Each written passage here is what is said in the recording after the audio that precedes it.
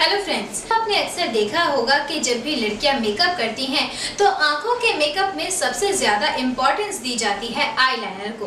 फिर चाहे हम इसे अपनी पलकों के ऊपर लगाएँ, या फिर काजल वाले हिस्से पर हम काजल की बजाय आईलाइनर लगाएँ।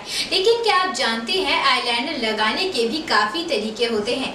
कई लड़कियाँ आईलाइनर लगाने में उतनी एक्सपर्ट नहीं हो पाती हैं, जितना कि वो चाहती हैं। और दूसरों के आईलाइनर देखकर उनके मन में हमेशा ये ख्वाहिश रहती है कि हम ऐसा आईलाइनर कब लगा पाएँगी।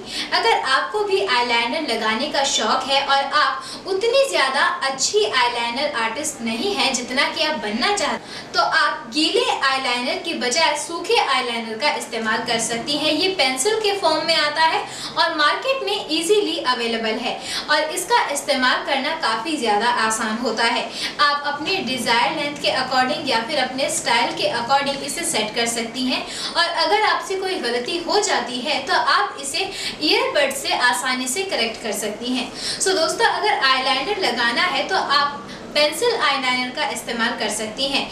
इसके अलावा मार्केट में कई ऐसे आईलाइनर भी आ गए हैं जो कि पेन के फॉर्म में है। जिनके साथ ब्रश नहीं होता है, वो पेंसिल के ही आकार में होते हैं, लेकिन वो जेल से भरे होते हैं। इसीलिए अगर आप थोड़ी सी प्रैक्टिस करके उन्हें लगाना चाहें तो वो भी कैरी कर सकती हैं। अपनी आँखों के डिज़ाइन के अकॉर्डिंग और अपनी डिज़ायर लेंथ के अकॉर्डिंग ही आप आईलाइनर लगाएँ। अगर आपकी आँखें बहुत ज़्यादा छोटी हैं तो बहुत ज़्यादा लंबा आईलाइनर ना लगाएँ। ऐसा करने से आँखें काफ़ी काफ़ी ज़्यादा भद्दी दिखाई देती है।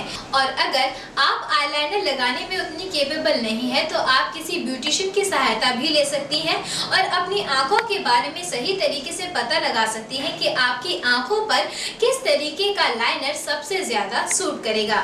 सो दोस्तों लाइनर लगाने से पहले इन कुछ बातों का ध्यान ज़रूर रखिए। मेरी ब्यूटी से रिलेटेड वीडियोस को देखने के लिए यूट्यूब पर लाइक शेयर और सब्सक्राइब कीजिए।